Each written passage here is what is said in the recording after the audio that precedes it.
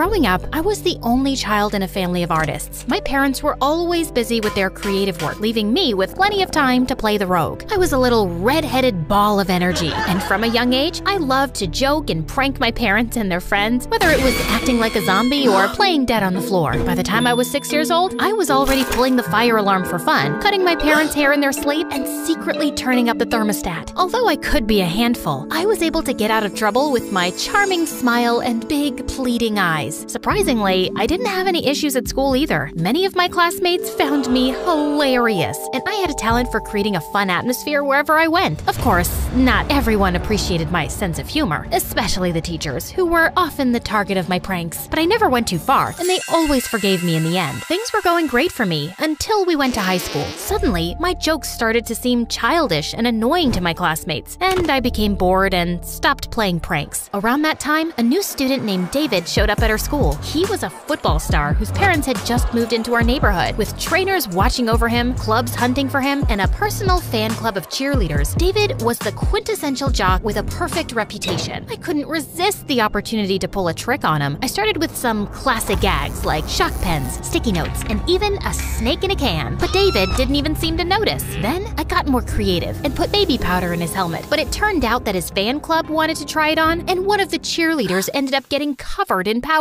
Of course, it was funny, but I wanted to get him. So I decided to break out the heavy artillery. I set up slime buckets above the door of the locker room, and when the football team walked in, they all got covered in slime, except freaking David, who was the last to enter. But to my surprise, he started laughing so hard that I couldn't help joining in, along with the whole team. As expected, my prank got me suspended for a few days, and the principal made me clean up the mess I'd made before leaving. Hey, I see you can use a hand.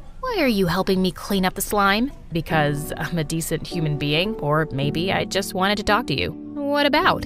Why, you don't stop trying to prank me? Did I do something to upset you? Or are you secretly in love with me and just trying to get my attention? Please, as if you're capable of upsetting me. And ew, in your dreams, you just seemed too good to be true. So I felt like getting to you with a prank. You know, like trying to find out what your kryptonite is.